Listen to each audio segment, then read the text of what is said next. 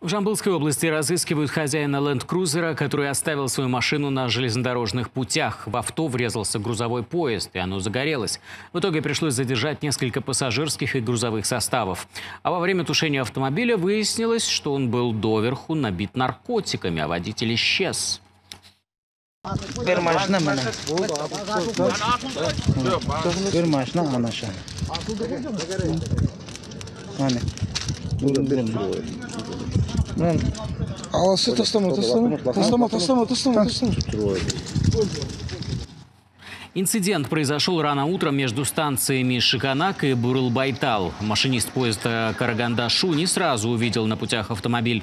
Говорит, пытался экстренно затормозить, но ничего не вышло. Из-за столкновения машина загорелась, огонь перекинулся на один из вагонов. Тушили и разбирали груз больше часа. А вот в машине нашли коноплю, причем вытащить успели только часть, около 20 килограммов. Остальное сгорело.